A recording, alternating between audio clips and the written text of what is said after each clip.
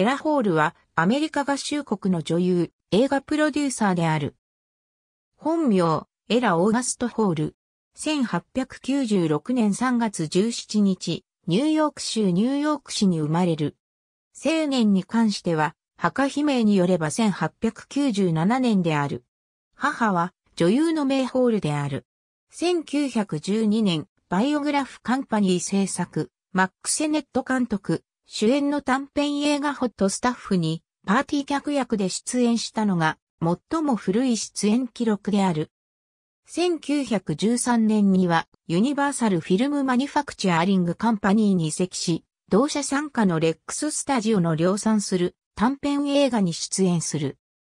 1914年にロバート・ゼット・レナードが監督、脚本、主演を務めたシリアルフィルムマスターキーにレナードの相手役として出演、同作は日本でも公開され、同年のシリアル、メイキンと並んで一世を風靡した。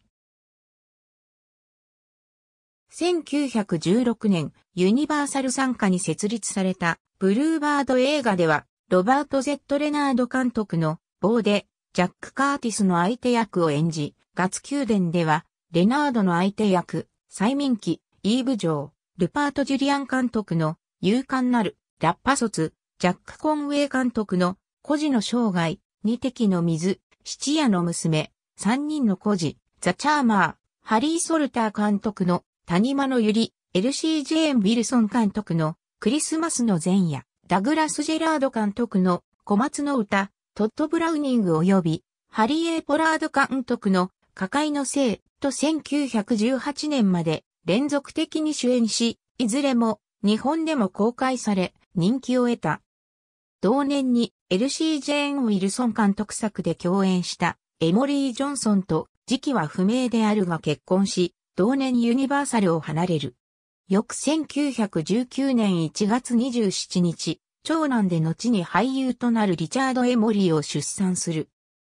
1921年、フランシス・フォード監督、主演の的の栄冠に出演して、映画界に復帰、翌1922年4月18日、長女で後に女優となるエレン・ホールを出産する。同年以降、夫エモリーが監督する映画に出演するが、1923年、ロイド・ビー・カールトン監督の漂白エル、オランダ人に出演した後は、再び休業に入る。時期は不明であるが、夫エモリーと離婚している。1930年から各社が制作した3作のトーキーにノンクレジットで出演しているが、1933年、1982年9月3日、カリフォルニア州ロサンゼルス郡ロサンゼルス市で死去した。満86歳没。同郡グレンデールにあるフォレストローンメモリアルパークに眠る。同母悲鳴には没年を1981年としている。ザラブがある1916年ニューラブフォーオールド1918年特筆以外はすべて出演作である。1912年から1915年の60作近い初期出演作は短編が多く主なものに止めた。